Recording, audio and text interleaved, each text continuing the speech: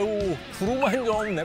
파랗네 하늘이. 안녕하세요. 어 아유 안녕하세요 반갑습니다 유정현입니다. 네. 자 명의도의 경고에 오신 거 환영합니다. 먼저 소개 좀 부탁드릴게요.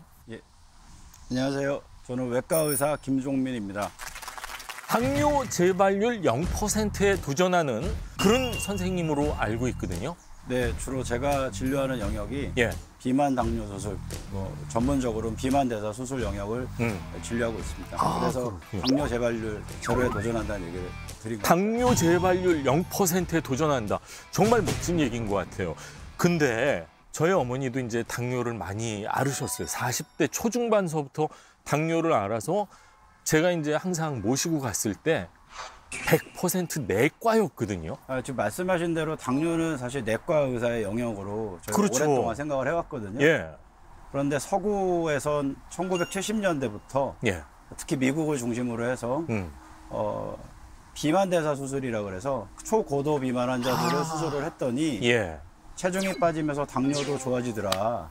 이유가 있군요. 당뇨 부분만 좀 특화돼서 예. 대사 수술이라고 저희가 예, 이제 예. 쉽게 당뇨 수술이라 그러는데요. 음, 그 부분만 연구가 됐고 예, 어, 당뇨가 수술적으로 개선되거나 또 예. 완치될 수 있다는 부분이 이제 학술적으로 검증이 돼 있습니다. 아 그렇군요. 예, 그래서 2019년 1월 1일부터 우리나라도 비만과 당뇨에 대해서 예. 수술이 국민의료보험이 적용되기 시작했습니다. 아 그래요? 아, 그렇군요. 야.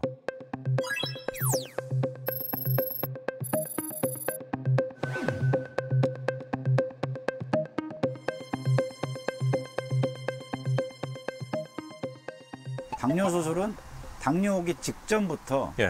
당뇨 온 뒤 2, 3년 이내가 제일 효과가 좋거든요. 당뇨가 왔을 때 처음 기간이 네. 뭐든지 제일 좋다. 네. 아 그렇군요. 그 이유는 췌장 기능이라는 게 당뇨 진단 받을 때 이미 절반밖에 안 남아 있는데 아이고 아이고 아이고. 점점 점점 그렇군요. 떨어지거든요. 예.